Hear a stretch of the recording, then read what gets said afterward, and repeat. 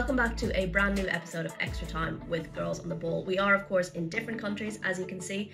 There were not too many upsets in the WSL this week, but there was a bit of a battle in Bristol, and Miedema completed her comeback with a goal in Liverpool. All this on more and more on this week's episode.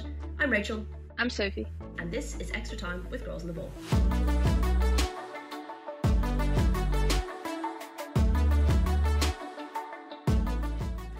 This week's episode, we will go through the WSL fixtures, of course. We will run through the championship results and the table. And Sophie's going to, of course, give us a quick rundown on the round table with Nikki Doucet. So good luck with that. Nice, short and sharp stuff. Uh, and you're going to also give us your moment of the week, so you can start thinking about that now.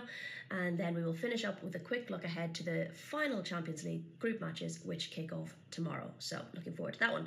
Remember, if you've not already subscribed to the pod or on YouTube, make sure you do so so you do not miss an episode. And if you fancy giving us a review, do that as well. We would love that.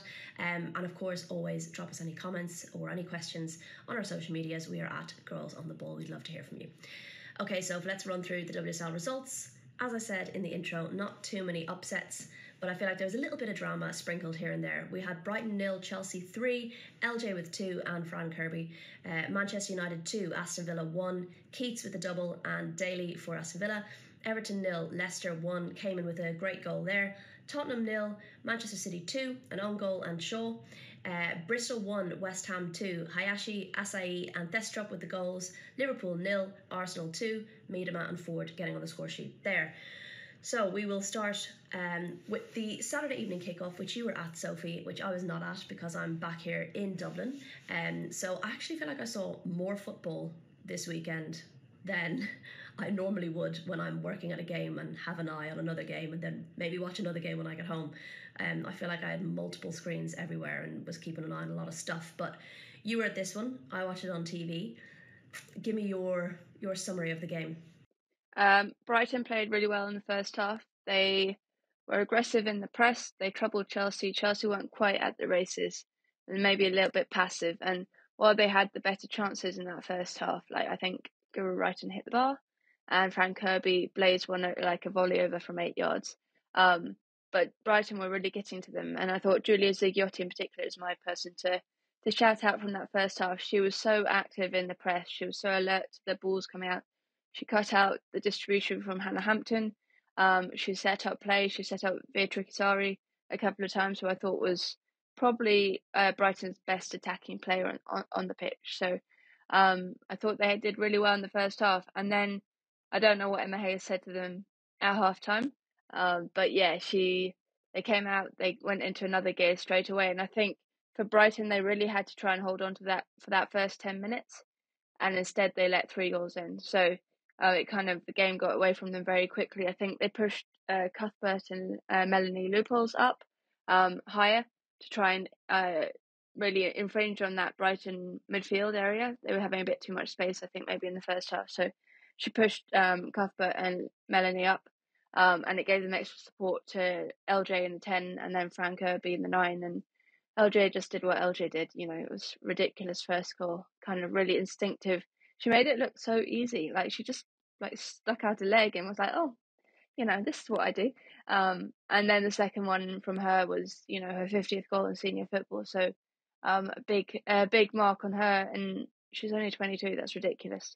And then Emma um, Hayes said afterwards that Fran Kirby had her best game in the Chelsea shirt. She played as a number nine, so something maybe we've not seen more recently from her, but she can do it. And she got a, a header, which is probably a bit rare for her um, to score with her head. Um, but yeah, she she was pretty good as well, and they really seemed to click into gear in that second half. Yeah, I was quite impressed with Brighton in the in the first half, but I think in a lot of these games, it's how long can you sustain that level of discipline against a team like Chelsea, and when LJ can score a goal like that where there's not really much anybody can do about it. Um, you know, I'm not sure how much discipline or or concentration would have prevented that. And I think the timing of her goal and Fran's goal, 46 minutes, 51 minutes, was a bit of a one-two punch, and suddenly they're two 0 down, and the game's got away from them. So. Um, yeah, I think that was tricky for them. I thought I thought they did well breaking up Chelsea's link up play as well during the game in the first half, but that didn't seem to work as well in the second half, and Chelsea definitely found their rhythm, I think. So, yeah, I don't think it was anything too surprising in that fixture. Um, moving on then to Manchester United to Aston Villa 1 with an added level of spice given everything that's gone on in the Conti Cup, with Aston Villa fielding an ineligible player. Um, and there's a lot of talk around should they get knocked out of the competition or should the points be awarded to Sunderland. I think that will then damage United's chance of coming as, as a, one of the best um, second place finishes in their group. Is that right? Uh, yeah, um, so that's if they forfeit just a fixture.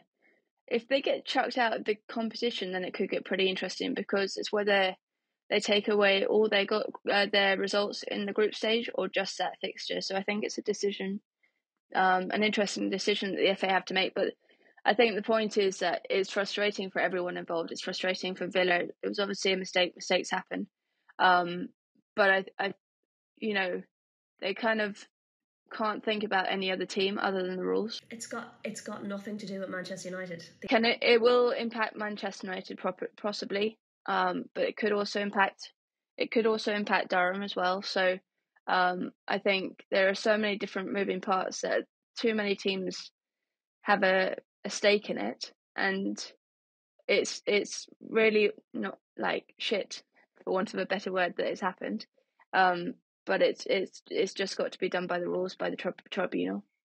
It should be black and white. It should be if you field an ineligible player, this is the result. This is the punishment. It shouldn't factor in anybody else. Like otherwise, you get down a really tricky wormhole if you set that kind of precedent. Anyway, added level of spiciness perhaps there. Um, Manchester United scored early through Nikita Parris, who's been in great form. Um, I do have to say it was pretty sloppy defending from Villa again, you know, kind of sloppy pass out that was intercepted by Garcia. It looked as though they'd managed the Man United attack and that they all they needed to do was clear the ball and instead it was a really sloppy pass out. Garcia intercepted, crossed it in for Parris, um, and she got that early goal. I'm kind of surprised actually she didn't start against Chelsea, did she? And given she's United's top scorer and she's in such good form, um, I did think Villa started brightly initially, um, and then they struggled to find any kind of rhythm after the goal and I just we've said this before. Villa defensively are so frustrating, and I feel like their style of defending is simply frantic and last ditch, no matter who they're playing. Like that just always seems to be the vibe you get from their defending. Um, so that that was a little bit frustrating. Um, I did enjoy the Geyse versus Maritz. Uh, I think um, the Swiss defender struggled a little bit with her pace. Um, Daly not getting enough service, so she was like coming quite deep in that first half to try and find the ball. Um, but yeah, I thought second half they started much better. They were more of a threat. I think they deserved to get a goal, but I do think that penalty was so soft. Oh my god! I think it was soft as well. I can see, I can see why the referees sort of decided on it because the arms did come out from Garcia, but my god, it was incredibly, incredibly soft, and she definitely made a meal of it. I think Aston Villa, like, I think they had more possession um, stats, but United just out created them massively. Um, and that's the problem with Villa this season. They haven't been able to get that service to Daly that they were able to get last season. So so often in games she's been sort of um, a lone figure, yeah, kind of a, a, lone figure out there trying to do everything as well. And when she gets um, isolated, she then starts coming back too deep or trying to defend or trying to get the ball and influence the game in different places instead of being where she needs to be up the pitch. So um, yeah, it's just kind of a frustrating time for her, I guess, when she's not getting the service that she requires to to kind of finish off off games. I do think Man United though do look vulnerable at times at the back, and if Villa were more clinical, um, they could have got more goals, but they've not been clinical. I think um, you know just at times they were getting in. I think particularly in the second half. Um, so United will be really pleased to come away with that win, but I do think they, on balance, deserved deserve the win. But yeah, I think Villa do need to be credited. They did come back into it in the second half because in the first half I kind of thought United could be far and away out out from them. So um, yeah, two one in the end and. Uh, a bit of a spicy fixture. Um, I also then had another eye on, I don't know how many eyes I had, on Everton nil, Leicester won because of course these games were all kicking off at slightly different times. We had United Villa at 12, then this started at half past 12. Um, so yeah, I didn't see all 90 minutes, but what I did see, I thought the first half was pretty enjoyable. It seemed pretty transitional, although Leicester probably had the better of it. but Everton looked dangerous, but they never looked dangerous enough that they were like getting much on target. I don't actually think they had any shots on target. They had um, chances, though.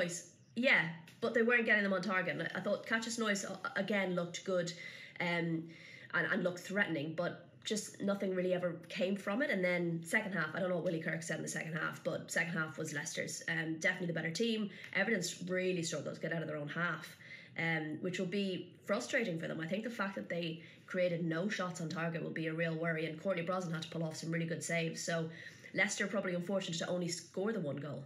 But what a goal it was from Cayman.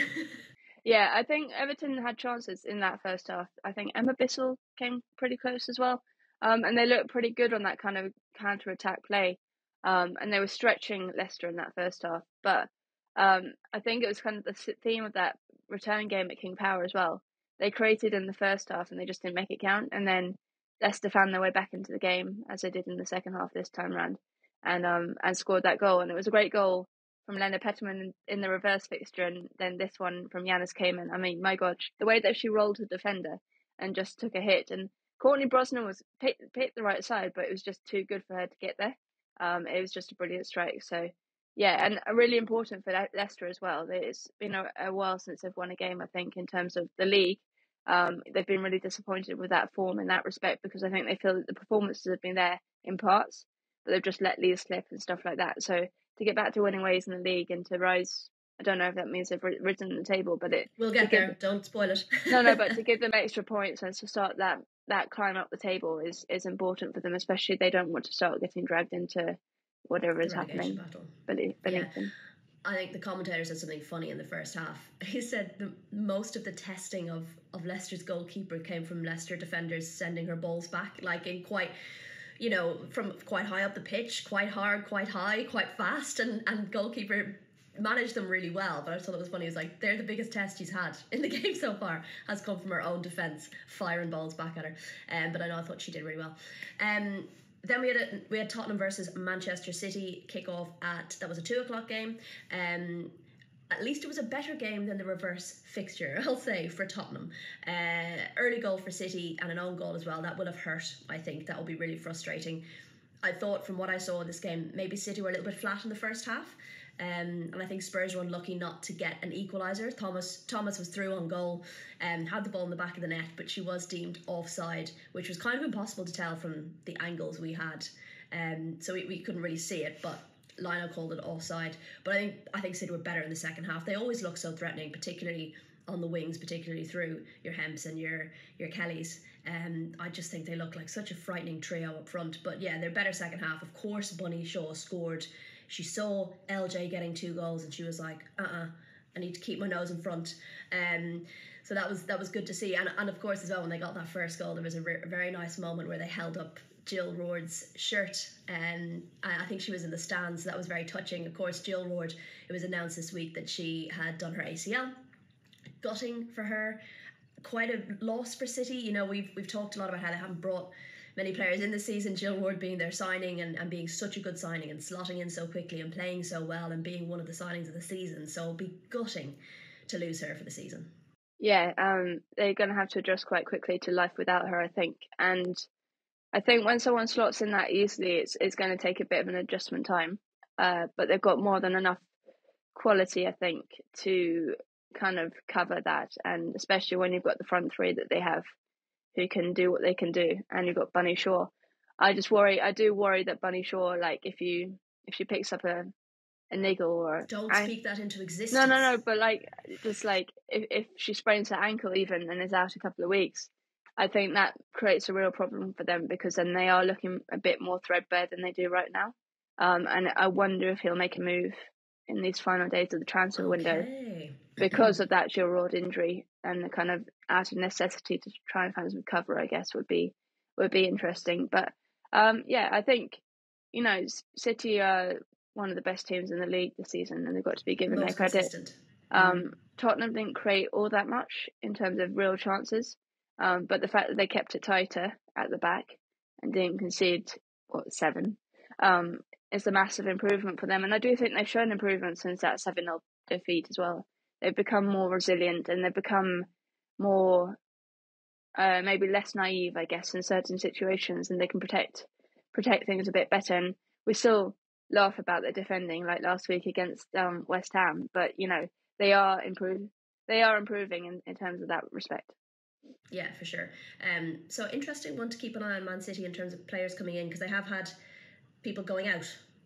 Well, yeah. So Deyna went to Bay Bay FC, Deyna Castellanos. Um, so that's been interesting. And Julie Blakstad went to Hammer, Hammarby. Both, understandably, they're not getting minutes. They weren't being played by Gareth Taylor, and they both are at the stage of their careers where they want to be playing regularly. And I think for Deyna, especially, like Bay FC is really exciting project. It's, the expansion team in the NWSL. Um, something new, some somewhere else new to go and uh, have an impact. So, um, yeah, going to follow her quite closely. But I do think it means that they need to be active in these last three days in the a little bit more depth, right? Yeah. Okay. Um, moving across then to the game that you were at, which was probably the most exciting fixture of the weekend. Bristol won, West Ham 2. This was, of course, a relegation battle. Both teams were sitting at the bottom of the table on five points. And um, everyone was calling this the proverbial six pointer, despite the manager's insistence that it wasn't that big a deal, guys. Like, you're all just like making such a big deal out of it. And um, you were at this one. Give us your thoughts. It was quite an exciting fixture, particularly when the goals started flowing. I think Lauren Smith was um really disappointed when I spoke to her at the end of the match, and I think I've got some audio from her to uh, that you can listen to in a bit. But um, she it was the first time I've I've heard her sound quite um, what's dejected. the word dejected or defeatist, and I'm sure that's like just a reaction after the game kind of thing. But she was very clear. You know, they've got ten cup finals now um, until the end of the season, and kind of that they really need to amp it up. They started really well. They were really energetic. Um, they had a really good supporting. They had six thousand in the stands, so really good support as well, urging them on. And then the the first goal for West Ham kind of came against a run of play. Um, they didn't react to the second phase of a defend, like defending across. It's like three of them watching her. I know, and Honoka Hayashi, Hayashi had all the space to shift the ball, and it's a really good finish, but she still had all of the space in the world to do it. Um, and I think they were really annoyed at that. And then they managed to get themselves back into the game. Ffion Morgan she had a really great impact last week against Brighton when she came on. Um, and this week she came on pretty much with her first touch. What um, West Ham had the ball in the back of the net. They broke up field, Bristol.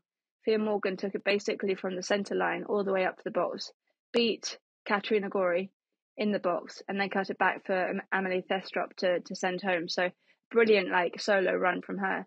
Um, and you thought at that point that they were going to kick on, and then the, but then the game just got really super transitional, even more so than it was already. And when you've got someone like Asseyi, you can't let her cut through like the way she did, and she's got the pace to burn and the vision like to to break through and to break through those lines. And Jess Ziu was really really good yesterday. I thought, given that she's young, she hasn't had many starts for West Ham.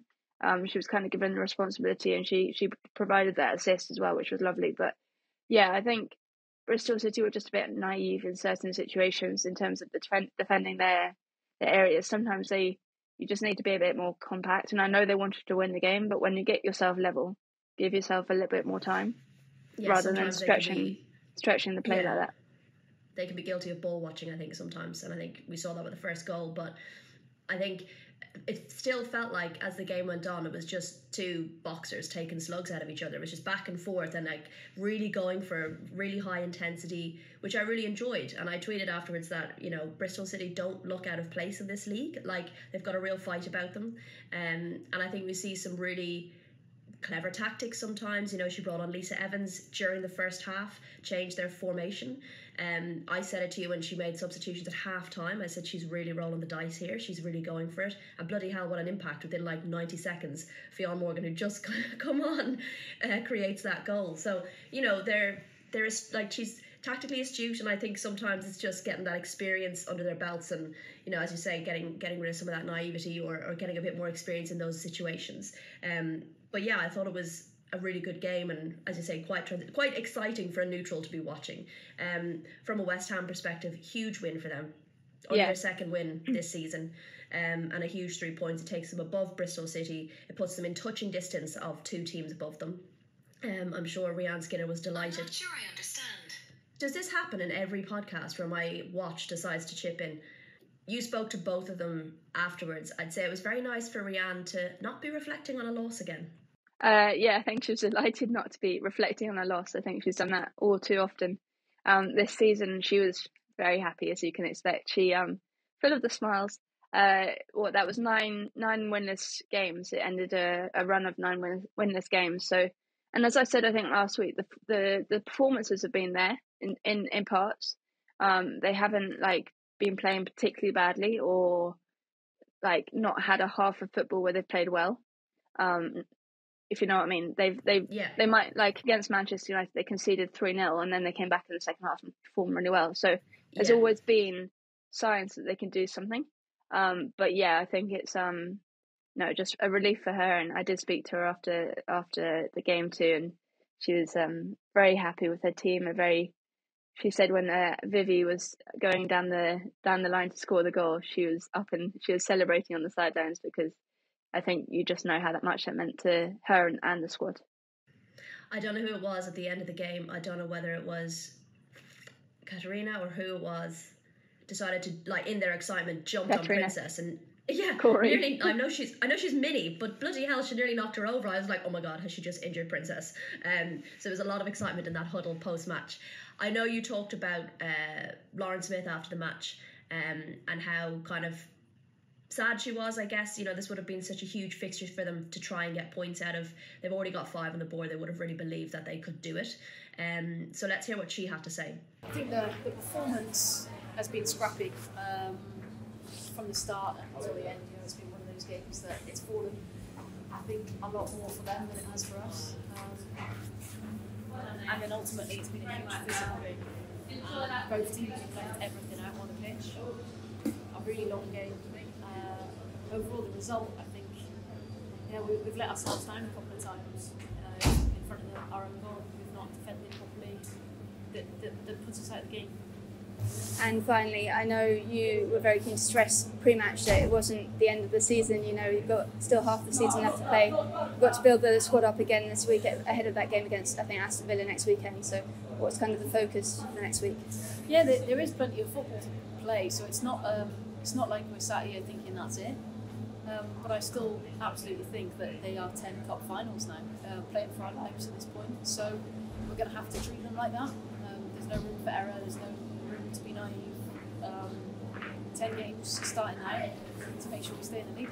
Okay, I think like the thing I feel about Bristol right now though is that while this does feel like a big loss, I also feel like there's still points in that squad and that this relegation battle isn't over and it is we're going to look at the at the table in a minute. It is still pretty compact and tight down around there from 7th down to to 12th. It's not a huge leap. So They've got goals in them, that's for sure. Um, and they just need to tighten up defensively a little bit, but they do have goals. They put up a fight every time they play.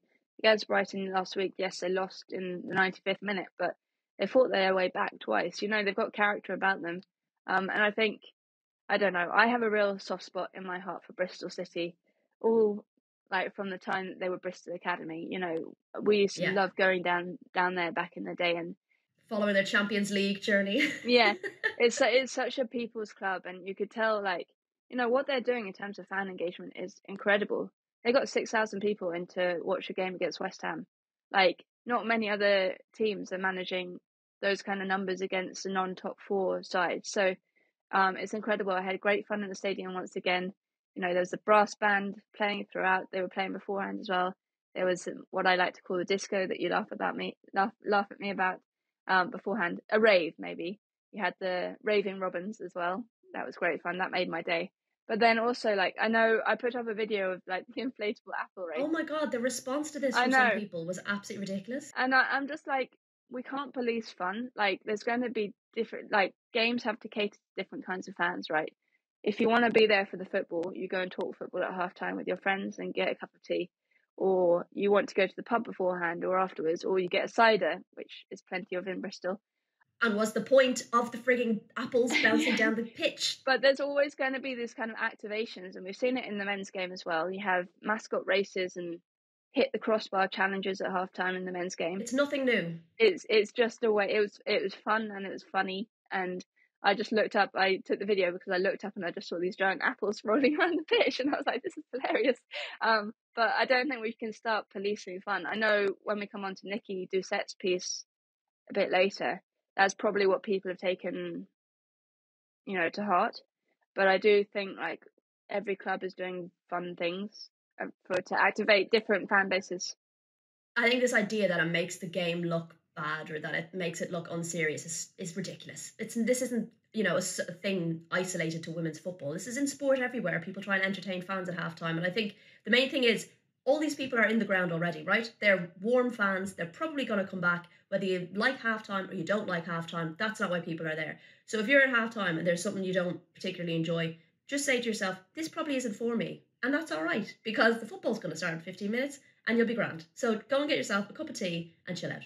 So I, I think um, I was also inspired by, I don't know what you've been watching on TikTok, but um, I've been served a lot of Benny, Benny the Bull from Chicago like literally about 20, so 20 I videos. one video. and they're absolutely hilarious. He's he's brilliant. He's like does all of these dances. He tries to shoot in the basket. He just gets it in a lot of the time. God, well. basketball is so unserious. Um, he throws popcorn over people, and you know that's kind of the element of of kind of the breaks and half time that you can bring over, and that isn't such a I don't know. I know purists want to think about the football, and I get that. I'm there to watch football. This doesn't impact the football. It doesn't impact. It's half time. Chill out. Right. Speaking of football, we've one more match to to get through, which is Liverpool nil, Arsenal two. Um, I did manage to watch most of this, uh, and I did think you know Liverpool missing Taylor Hinds, which I thought was going to be a big loss for them because she's been so good this season and has been captain in the squad as well. Um, I thought it was great having Holland back in midfield. Um, I really enjoyed the battle between Nagano and Miedema in that first half. I thought that was really good clash. Um, you know, I thought the first half, I think it's the same old kind of story with Arsenal where they struggle really to put their chances on target, and they could be a little bit repetitive in in their what they're trying to do. Um, sometimes they look a, like they're trying to play too fancy a bit of football through the middle. It can look really congested sometimes, and you know, sometimes you're like, Jesus, just put the ball over the top and Beth Mead will bury it. Like we saw what they did against Reading. So sometimes it just felt a little bit congested in there with so many players. And I think someone, I think it was maybe Tim Stillman pointing out that the pitch looked quite dry, which he thought was maybe slowing down balls forward and and perhaps that kind of slowed down their their freedom up front. But yeah, I thought Liverpool did well because they are disciplined in defence, so you need to be smart when you're you're getting around them. They forced them out wide. Um, and that, that was, I guess, what they wanted to do. You know, that learning from that first game when Arsenal put in 101 different crosses and couldn't make it count. And I think Liverpool were thinking about the same thing, and they made the they were so disciplined in that defensive area that they made the middle they made the middle of the field quite congested as well, which meant that you know they had to go out wide to forward, um, down the left quite often, and it was just creating less space in the middle. Um, so I think that was a good tactic in the first half, especially from from Liverpool. They kind of were really disciplined in that in that respect. Um, and I think they showed a lot more discipline compared to like last week. I was surprised about the amount of changes he made. You know, Koivisto was not on the pitch. Um, changed the goalkeeper as well. Rachel Laws came in for the first time in a while, so made a few changes. Uh, Lundgaard got her first uh, start of the season as well. Um, so he wasn't afraid to, to shake things up a bit, I think um, and give other people a, a try. And it did work for a good portion of the game, but Arsenal's quality just shone through. It felt a little bit like they set up to not concede, and I think that showed. I think they only had one shot on target. Um, but yeah, in the second half, Miedema was very much in her final do it myself era. You know, you know when Viv gets like that, and I think when she gets like that, she can be very dangerous shooting from outside the box, which is something Arsenal didn't really seem to want to do. they wanted to kind of play it in. So, um, a great goal from her, a huge weight off her shoulders. It did take a bit of a deflection, but I think it came right over Law's hands. But the power of it, there was just no keeping it out. So you could tell when Viv celebrates how much a goal means to her, and as well how much the, the other teammates celebrate with her is always lovely to see. Um, so yeah, it was brilliant to see her back, and, and she spoke really well post match. Yeah, she did. She spoke about how like she was starting to feel like herself again, um, post winter break, and I think Jonas mentioned it as well. Like you know, players take time, and it, they're not all going to be Beth Mead to come back like instantly and hit the ground running and is perfect. Well, not perfect, but you know what I mean. Pretty much Pretty perfect. Good. Pretty much mm-hmm. perfect straight away.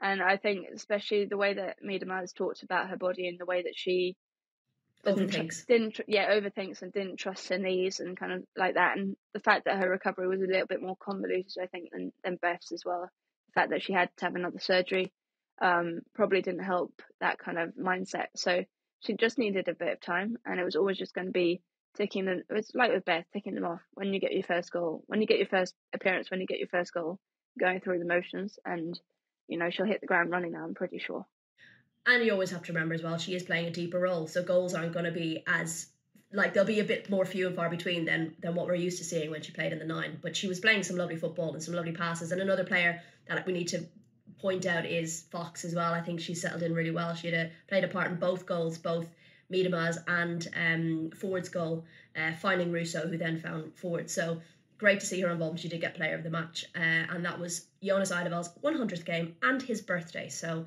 um, pretty good day all round understandably very calm post match and not especially excited, but I'm sure he had a cake or something on the bus back. Um, so that means that Chelsea stay on top on 31 points, City behind on 28, Arsenal are in third on 28 because City have a better goal difference. United managed now to open up a gap in fourth, they're on 21 points, with Liverpool and Spurs below on 18.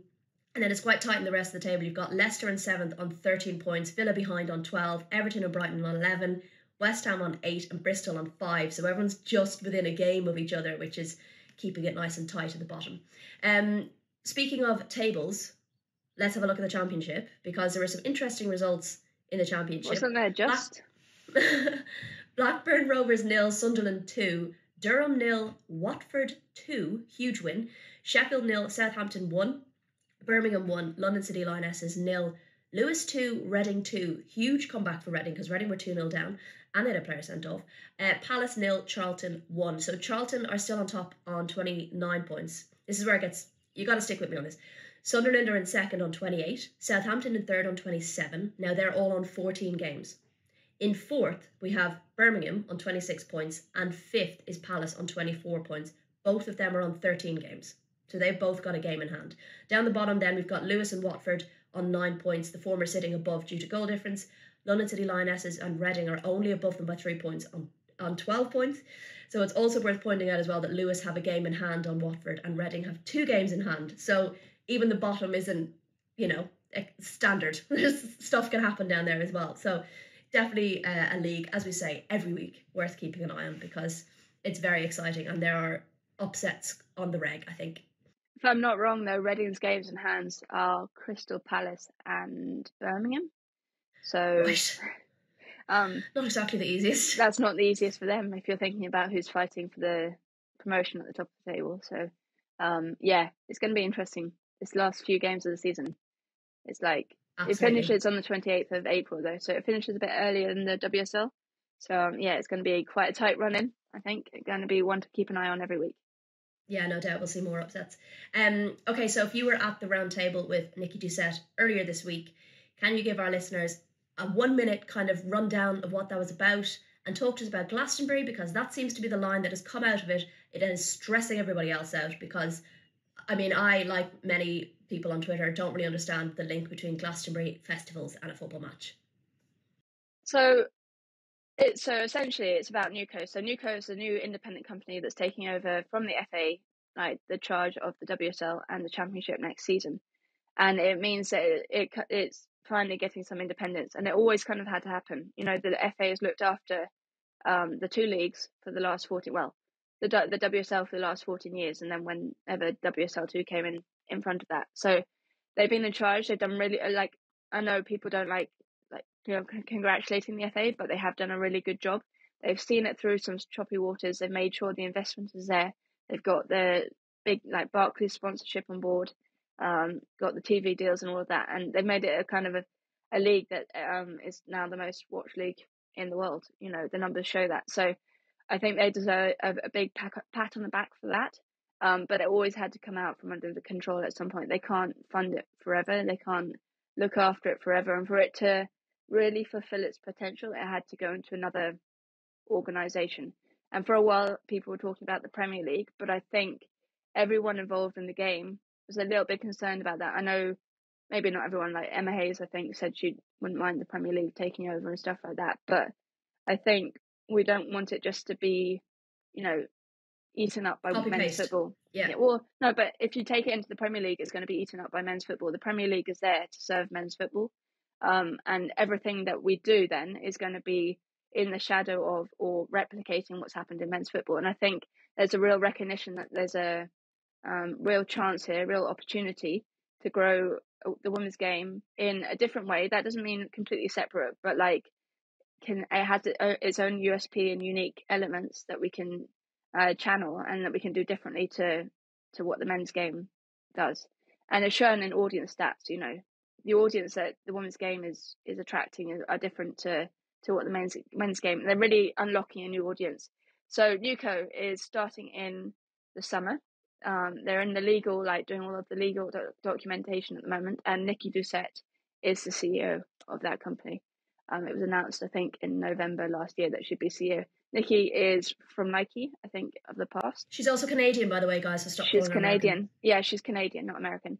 Um, uh, very has a very strong uh, oot to her accent, so um, you could definitely tell the Canadian in her. But yes, so she sat down with the media last week, and I didn't really pick up on the Glastonbury thing so much until afterwards. Like I was sitting in the room, I didn't pick up on it then.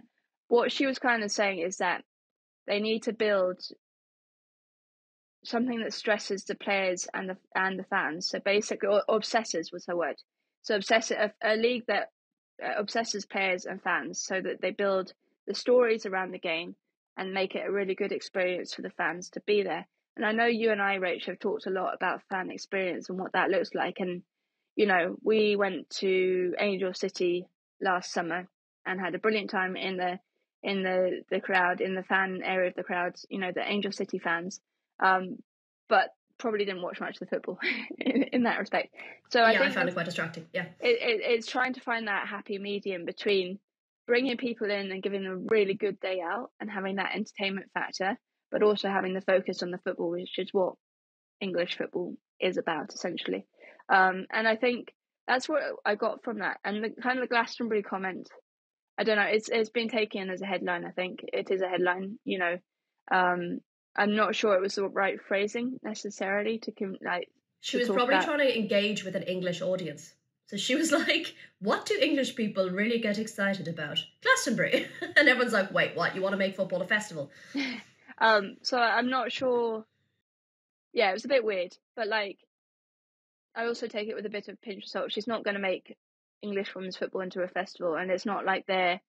Um, I I really didn't get the feel that they're trying to, what's the word, make it like child friendly. Well, they they have been forever, but you know they're not trying to like.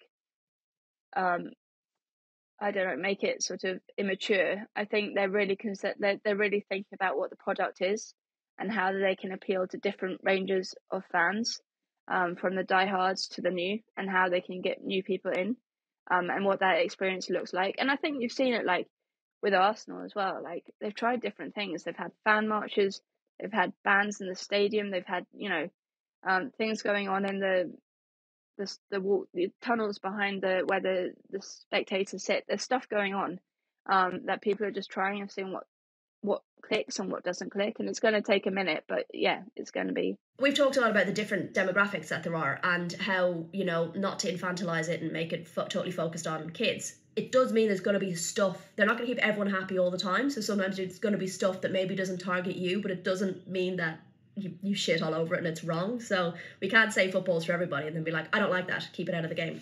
So there's going to be trial and errors. And I think the main thing to take away is that there's football clubs involved in these decisions as well. So it's not like Nikki's going to come in and be like, I think we should have this, and then click her fingers and everything changes. So but we can probably calm down a little bit. Anyway, very quickly, give me your moment of the weekend, Sophie. Um, well, I was going to go with Miedema- Miedema's goal because I went with Beth when she scored, so I'm going to go with Miedema's. But I'm also going to go with the Raving Robins um, because that cheered me up massively. I was having a pretty stressful day yesterday, and um, the Raving Robins were were massively cheer- cheering me up. So yeah, big up Love to that. them. Lovely. Um, finally, we have got the group uh, games, the final group games of the Champions League coming up this week. Chelsea are, of course, already through, but we're going to see them anyway um, in Paris to take on Paris FC, and then we're going to head to Frankfurt for Eintracht Frankfurt versus Rosengard. So we will do our very best to take you on that journey with us. So keep an eye on your podcast apps because hopefully we'll be dropping another episode later in the week. Speaking of apps, Make sure you're subscribed. I know I told you already, but you might not be. Um, to make sure you never miss an episode. So whether that's on your podcast app or on YouTube, um, drop us a review again if you fancy it. And if there's anything you'd like us to touch on next week, um, reach out to us on social media. We are there at Girls on the Ball. But until then, we will see you in Europe during the week.